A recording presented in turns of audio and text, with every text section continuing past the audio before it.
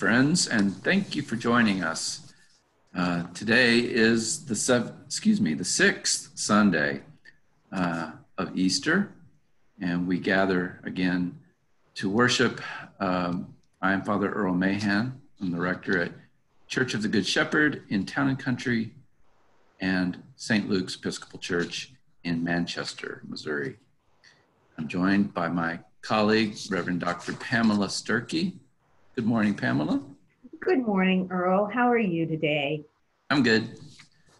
Um, as I said, we're at the sixth Sunday of Easter, which means we're nearing the end of the, uh, 50 days of Easter.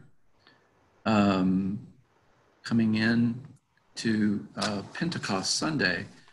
Um, but before we get to Pentecost, we will celebrate one of the um, important feasts of the church, uh, the Ascension of our Lord. The day of the Ascension is this coming Thursday, uh, May 21st.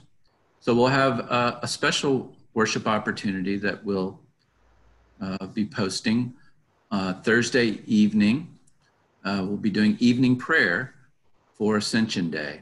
So I invite you to, uh, to join us uh, for worship uh, on Thursday, just as you are joining us on these Sundays during Easter.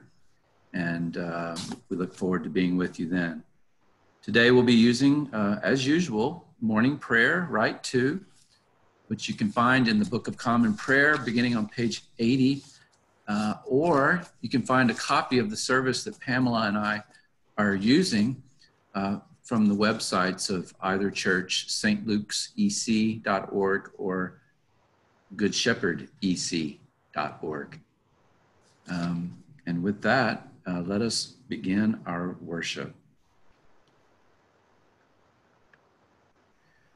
Alleluia, Christ is risen. The Lord is risen indeed. Alleluia. Lord, open our lips. And our mouth shall proclaim your praise. Glory to the Father, and to the Son, and to the Holy Spirit, as it was in the beginning, is now, and will be forever. Amen. Alleluia. The Lord is risen indeed. Come, Come let us adore, let's adore him. Alleluia. Christ, our Passover, Pascha Nostrum. Let us say in unison, Alleluia. Christ, our Passover, has been sacrificed for us. Therefore, let us keep the feast, not with the old leaven, the leaven of malice and evil, but with the unleavened bread of sincerity and truth. Alleluia. Christ, being raised from the dead, will never die again. Death no longer has dominion over him. The death that he died, he died to sin once for all. But the life he lives, he lives to God. So also consider yourselves dead to sin and alive to God in Jesus Christ our Lord. Alleluia. Christ has been raised from the dead, the first fruits of those who have fallen asleep. For since by a man came death, by a man has come also the resurrection of the dead. For as in Adam all die, so in Christ shall all be made alive. Alleluia. The Lord is risen indeed. Come, let us adore him. Alleluia. The psalm for today is a portion of Psalm 66, verses 7 through 18. Bless our God, you peoples. Make the voice of God's praise to be heard, who holds our souls in life and will not allow our feet to slip. For you, O God, have proved us. You have tried us just as silver is tried. You brought us into the snare. You laid heavy burdens upon our backs. You let enemies ride over our heads. We went through fire and water, but you brought us out into a place of refreshment. I will enter your house with burnt offerings and will pay you my vows, which I promised with my lips and spoke with my mouth when I was in trouble. I will offer you sacrifices of fat beasts with the smoke of rams. I will give you oxen and goats. Come and listen, all you who fear God, and I will tell you what he has done for me. I called out to him with my mouth, and his praise was on my tongue. If I had found evil in my heart, the Lord would not have heard me. But in truth, God has heard me. He has attended to the voice of my prayer.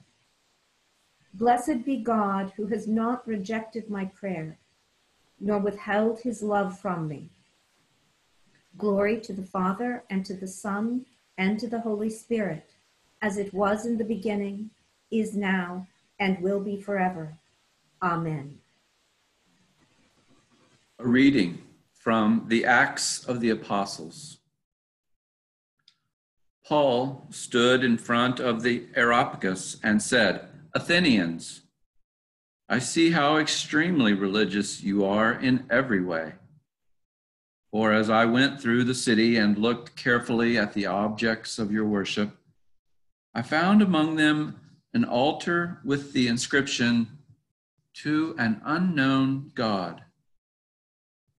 What therefore you worship as unknown, this I proclaim to you the God who made the world and everything in it, he who is Lord of heaven and earth, does not live in shrines made by human hands, nor is he served by human hands, as though he needed anything, since he himself gives to all mortals life and breath and all things.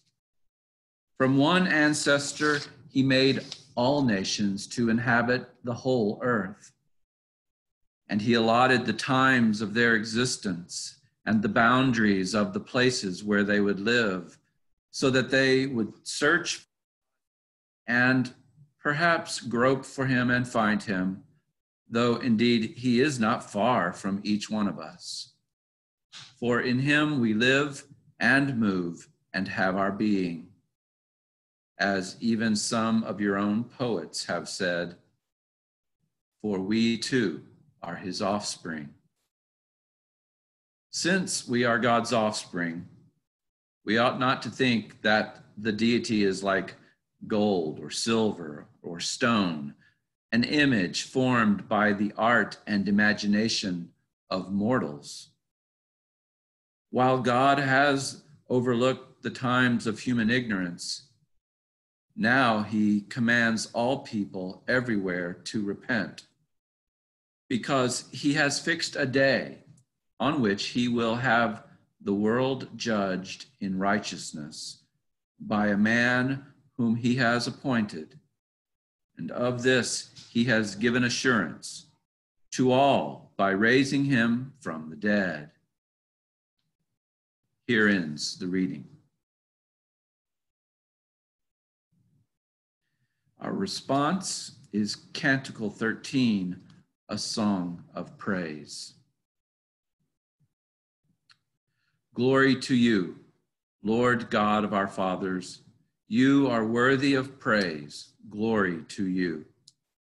Glory to you for the radiance of your holy name.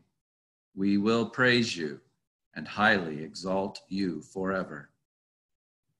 Glory to you in the splendor of your temple, on the throne of your majesty. Glory to you. Glory to you, seated between the cherubim. We will praise you and highly exalt you forever. Glory to you, beholding the depths. In the high vault of heaven, glory to you. Glory to you, Father, Son, and Holy Spirit. We will praise you and highly exalt you forever.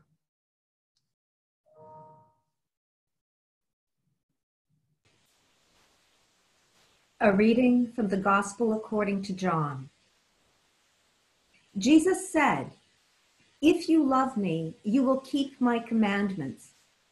And I will ask the Father, and he will give you another advocate to be with you forever. This is the Spirit of truth, whom the world cannot receive because it neither sees him nor knows him. You know him because he abides with you, and he will be in you. I will not leave you orphaned. I am coming to you. In a little while, the world will no longer see me, but you will see me. Because I live, you also will live. On that day, you will know that I am in my Father, and you in me, and I in you. They who have my commandments and keep them are those who love me. And those who love me will be loved by my Father, and I will love them and reveal myself to them. Here ends the reading.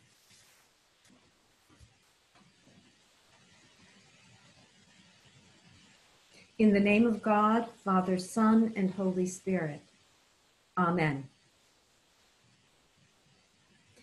If you love me, you will keep my commandments. And I will ask the Father, and he will give you another advocate to be with you forever. This is the Spirit of truth. This gospel reading is an immediate continuation of last week's gospel, where Jesus tells his disciples that he is leaving and that they can't go along, but that he is the way, the truth, and the life. All this is part of the farewell discourse that follows Jesus washing the disciples' feet. It seems a little odd to be reading from John's Maundy Thursday discourse in the season of Easter. But maybe we need the after the fact perspective to make sense of what Jesus is telling the disciples and what he is telling us. Throughout this reading, there are three pieces bound together keeping Jesus' commandments, love, and relationship. So, just what is Jesus referring to when he tells the disciples, Keep my commandments? If we look back a few verses in John to the end of the previous chapter, we find part of that answer. There, after washing the disciples' feet, Jesus tells them, I give you a new commandment that you love one another. Just as I have loved you, you also should love one another. A new commandment, one to go with the old commandment. You shall love the Lord your God with all your heart with, and with all your soul and with all your might a pair of commandments given to us as well as a way to live out our love for God. But Jesus has just told the disciples that he's leaving, that the world will no longer see him. How can they continue to love him without him present among them? How do we? As well as looking back, this reading from John's Gospel points ahead to the Ascension, which we'll celebrate on Thursday of this week. In Jesus saying, In a little while, the world will no longer see me. But this reading also points further ahead to Pentecost. Here, Jesus promises that God will send another to be with them forever, to abide with and in them so they won't be orphaned. So, who is this other? Well, as part of my study, I like to look at the various translations of the readings. Usually, those translations are pretty close, and the differences are minor and sometimes very subtle. But today's gospel is one of those places where it seems like every translator chooses a different word our reading says, I will send you another advocate. King James uses comforter. The New International Bible says counselor. The English Standard and the New American Standard say helper. And the Common English Bible uses companion. Okay, which is it? One of the commentaries I tend to read suggests that it might have been better for all of these translators just to stick with the Greek paraclete. This is one of those troublesome Greek words, one where we don't have any single word that fully captures the sense of the Greek. This word means one who helps and who comforts and encourages and who counsels and exhorts and who advocates on behalf of. And Jesus tells us this counselor, advocate, helper is the Spirit of truth, the Holy Spirit promised by Jesus, so that the disciples are not left orphaned. And Jesus promises not only the coming of the Spirit of truth, but the indwelling of that Spirit. He will be in you. With that, Jesus also promises that the disciples will know not only that he is in the Father, Jesus promises that they will be in him and he in them. It is in this promise and the promise of the Holy Spirit that the disciples are given a way to continue to love Jesus by keeping his commandments, by loving God, and by loving each other. By choosing loving actions, the actions that recognize Christ in each other. As followers of Jesus, that pair of commandments and promise is extended to us as well. In this time of pandemic, those are powerful promises and commandments. We are called to choose actions that love one another as God loves us. In these times, the need to show God's love is great, with so many people who are ill or out of work or alone or afraid. It isn't easy when we're all feeling the effects of this pandemic as well. But nobody ever said following God was supposed to be easy. Yet we also have that promise I will not leave you orphaned. God will not desert us. God is with us. In this time, we have the promise of the Holy Spirit to meet our deep need for a comforter, advocate, helper, counselor, and companion. And we have the promise of the Spirit that will abide in us. If you love me, you will keep my commandments. And I will ask the Father, and he will give you another advocate to be with you forever. This is the Spirit of truth. Amen. Amen.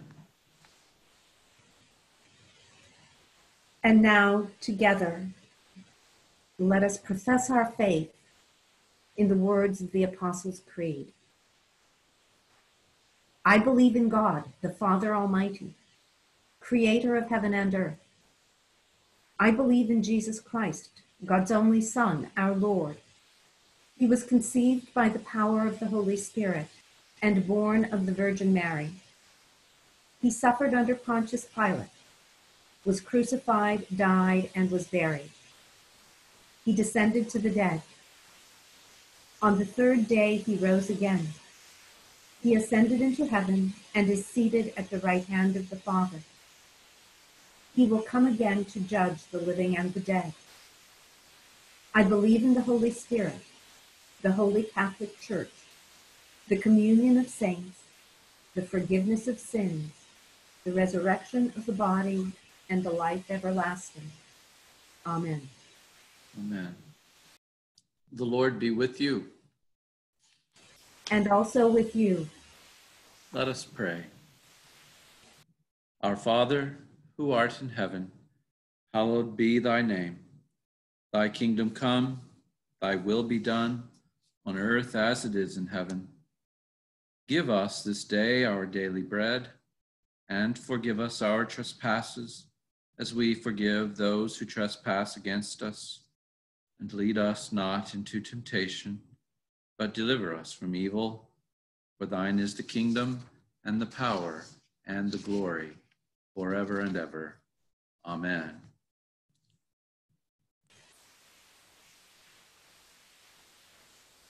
Save your people, Lord, and bless your inheritance. Govern and uphold them now and always. Day by day we bless you. We praise your name forever. Lord, keep us from all sin today. Have mercy upon us, Lord. Have mercy. Lord, show us your love and mercy. For we put our trust in you. In you, Lord, is our hope. And we shall never hope in vain. Let us pray. O God, you have prepared for those who love you such good things as surpass our understanding pour into our hearts such love towards you that we, loving you in all things and above all things, may obtain your promises, which exceed all that we can desire. Through Jesus Christ our Lord, who lives and reigns with you and the Holy Spirit, one God, forever and ever. Amen. O God, you make us glad with the weekly remembrance of the glorious resurrection of your Son, our Lord. Give us this day such blessing through our worship of you, that the week to come may be spent in your favor. Through Jesus Christ our Lord. Amen. Heavenly Father, in you we live and move and have our being. We humbly pray you so to guide and govern us by your Holy Spirit, that in all the cares and occupations of our life, we may not forget you, but may remember that we are ever walking in your sight through Jesus Christ our Lord. Amen. Almighty and everlasting God, by whose Spirit the whole body of your faithful people is governed and sanctified, Receive our supplications and prayers, which we offer before you for all members of your holy church, that in their vocation and ministry they may truly and devoutly serve you through our Lord and Savior Jesus Christ. Amen. Amen.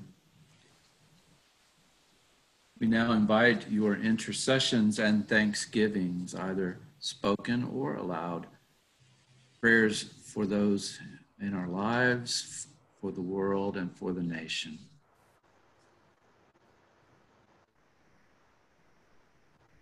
For all those who are ill, for the healthcare workers who put their lives at risk every day, for all those who are out and about, making it possible for those of us who are sheltering to shelter in place.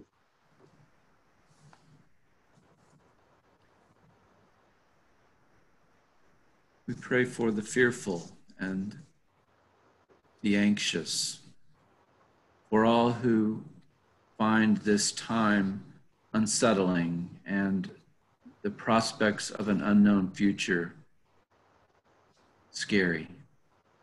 We ask you to bless them, surround them with sense of your peace, O oh God, and strengthen your people your community to support and care for one another.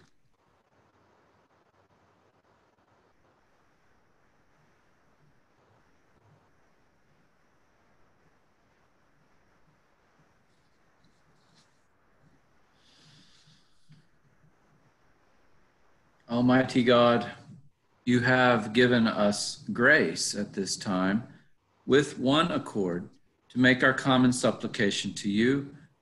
You have promised through your well beloved Son that when two or three are gathered together in his name, you will be in the midst of them. Fulfill now, O Lord, our desires and petitions as may be best for us, granting us in this world knowledge of your truth and in the age to come, life everlasting. Amen. Let us bless the Lord. Alleluia. Alleluia. Thanks be to God. Alleluia. Alleluia. The grace of our Lord Jesus Christ, the love of God, and the fellowship of the Holy Spirit be with us all evermore. Amen. Amen. Thank you once again, friends, for joining us. We look for you again uh, this coming Thursday as we celebrate the ascension of our Lord. We pray that this time will be a time of peace and safety and wellness for you and those that you love. Take care. We'll see you soon.